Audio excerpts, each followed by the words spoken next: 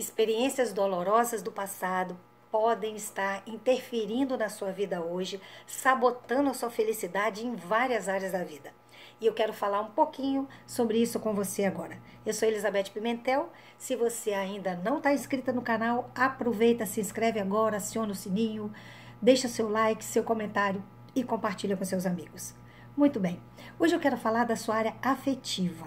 Como as dores do passado podem estar tá interferindo na sua área sentimental, no seu relacionamento afetivo.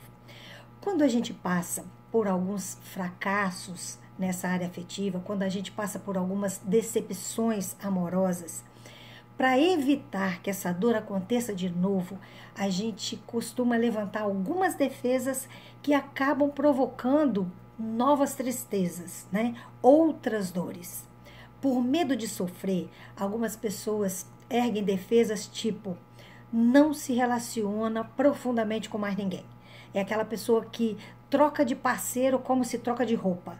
Né? Ela não quer nenhuma ligação profunda com ninguém. É aquela que quer todo mundo porque, na verdade, não quer ninguém. Outras se isolam, elas não se permitem um novo relacionamento. Isso não quer dizer que uma pessoa não possa estar bem sozinha, porque tem muita gente que está muito bem resolvido nessa área e ela está sozinha e não está infeliz. Isso foi uma escolha dela.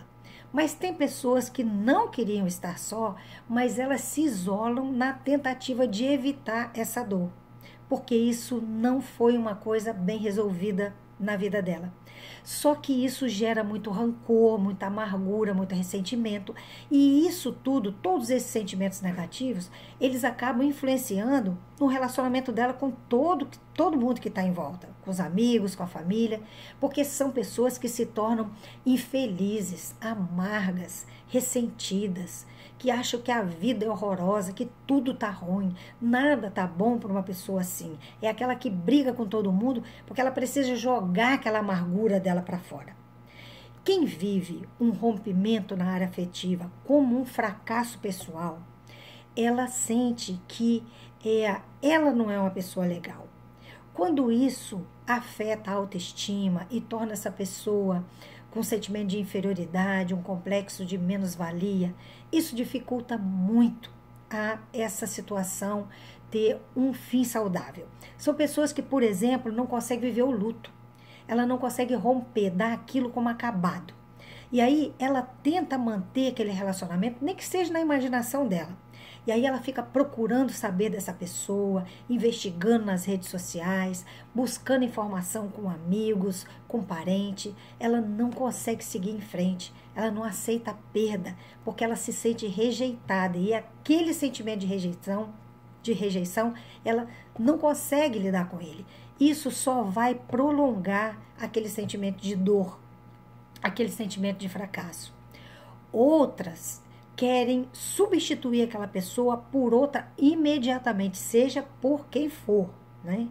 E isso pode acarretar muitas dores também, porque aquela situação mal resolvida vai para esse novo relacionamento. Então é muito comum pessoas que, por exemplo, foram traídas no novo relacionamento, ela fica procurando a pista de novas traição, traições. Se ela foi rejeitada, ela procura pistas de rejeição. Ela não resolveu uma situação e isso é levado para outra situação na frente. O que é possível fazer num caso desse? Como a gente resolve uma situação assim? Primeiro, é preciso entender que a gente precisa de ajuda. Nem tudo se resolve sozinho. Procura uma terapia, procura alguém para você conversar, tira essa dor de dentro de você, porque quando as coisas estão sufocadas dentro da gente, ela tem uma proporção muito grande. Entenda que o tempo não resolve tudo e nem o ativismo. Porque tem gente que faz milhares de coisas para ocupar todo o seu tempo para ela não pensar e para ela não sofrer. Isso não resolve. A gente precisa lidar com as situações.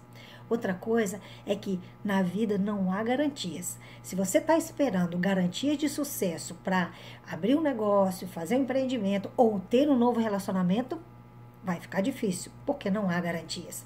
Isso não quer dizer que você não possa ser prudente. Isso não quer dizer que você tem que pular de ponta em todo o relacionamento como se estivesse fechando o olho e pulando no abismo. Claro que não. A gente precisa se preservar sim, a gente tem que ser prudente sim. Mas garantias não há na vida em nenhuma área. Outra coisa, pensa naquilo que você viveu de bom nesse relacionamento, porque tudo na vida traz uma coisa boa. Você teve bons momentos. Então, esses bons momentos foram vividos por você. Agora, se você disser para mim que não viveu nada de bom, foi tudo uma tragédia, um arraso, então entenda que até a dor tem algum proveito nela, porque você pode amadurecer, crescer, se fortalecer, você aprendeu muita coisa. Agora, não ignore esse aprendizado. Se você não aprender com essa situação, você vai viver uma nova igualzinho. Aprenda qual foi a sua participação nessa história. Examine você mesmo. Tente entender o que foi que você, como você contribuiu para